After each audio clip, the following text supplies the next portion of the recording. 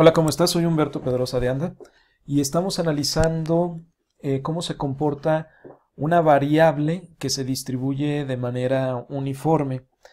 Eh, en el inciso B del número 1 nos piden que hagamos una tabla de distribución de frecuencias relativas.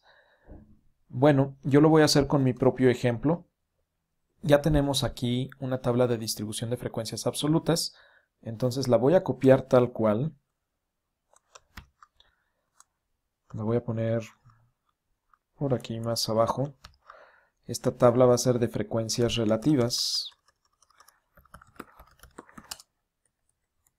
Y ahora para cada clase, en lugar de hablar de frecuencia, vamos a hablar de frecuencia relativa o probabilidad. Frecuencia relativa o probabilidad. Ok. Mm, por cierto, la primera tabla voy a aprovechar para ponerle un total que nos estaba faltando. Ahí está. Ya le pusimos total a la primera tabla. Le voy a poner también total a la segunda tabla. Pero primero tendré que calcular las probabilidades. ¿Cuál es la probabilidad de que haya de 6 a 7 clientes en el museo?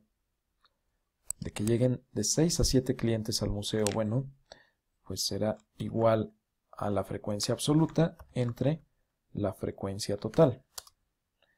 Y esta fórmula la tengo que mm, copiar en todas las celdas, pero primero voy a fijar la celda C8 oprimiendo F4 al posicionarme en la celda C8 para poder arrastrar la fórmula hacia abajo.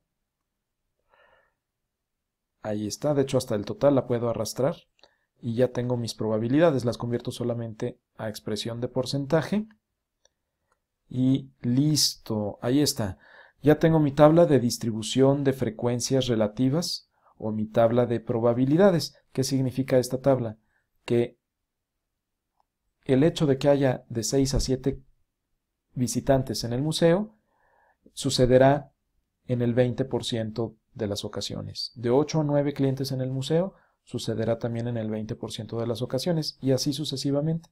Así es como se interpreta la tabla de frecuencias relativas. Muchas gracias por tu atención, que estés muy bien y hasta pronto.